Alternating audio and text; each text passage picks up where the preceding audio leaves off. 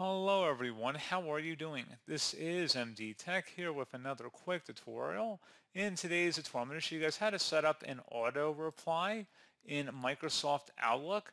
So basically auto replies or automatic replies are basically common notifications that users would provide when they're out of the office or unavailable to respond to email.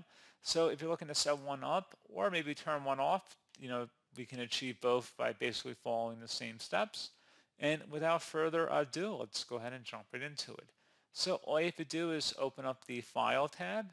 You want to select the Automatic Replies button and then select Send Automatic Replies. You can select a time range, so when you want the messages to start and then end.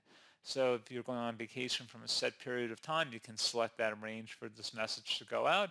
And then at this point, you go ahead and type in or copy and paste whatever message you want to automatically send out. And you can also adjust the rules by selecting that option as well. So if you want to add custom rules, which you can go into, if you want certain messages to be deleted or alerted or you know whatnot, you can have a lot of customization options in here.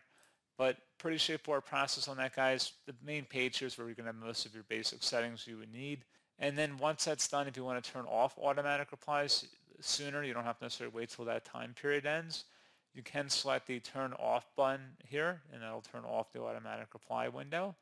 So pretty straightforward process guys. I do hope I was able to help you out and I do look forward to catching you all in the next tutorial.